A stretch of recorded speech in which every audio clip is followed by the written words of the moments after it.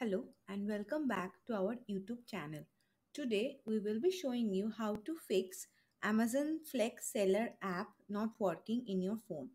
But before we get started, make sure to hit the like button and the subscribe button and stay updated on our latest releases. The first fix that you can try is to check the internet connection. To do that, you have to go to Wi-Fi and see whether it is on. If it is not enabled, then please enable it and your app should be working perfectly. For the second fix, you have to update your app. To do that, you have to go to Play Store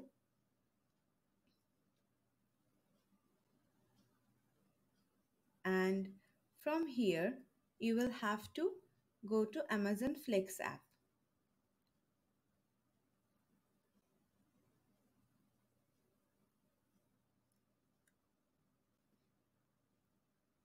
Now from here, if there is an update available, you will be able to see an update here. If there is no update available, then there won't be any button eh, eh, here that will show you that an update is necessary. So if you find any updates, please update the app and your Flex app will start automatically without having any problem. For the next fix, you have to clear the Amazon Flex cache. To do that, you have to go to settings. Then you have to go to apps. From here, you have to go to manage apps. And here, let's search for the app. So here it is. See, below you will see the clear data option if you don't see this option, that means that you don't have enough cache to clear. If you see the option, it means that your cache needs to be clear. So clear the cache and then try to open the app and it should open automatically. After this, you need to check the server status of Amazon Flex.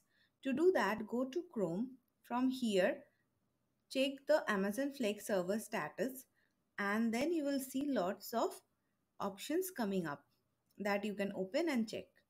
So you can see that the app is currently up and there is no issue with it. If you see that the app is down, then please wait for some time and after that try to open it again and you will be able to open Amazon Flex.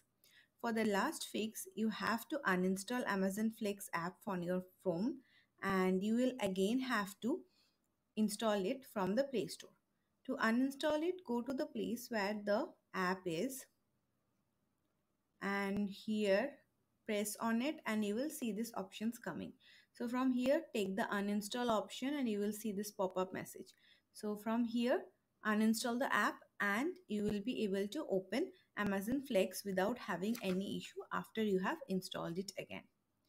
That's it guys. I hope you have enjoyed this video. If you have liked this video, please give it a thumbs up and please subscribe to our channel to stay updated about our latest videos. Thank you. Have a nice day.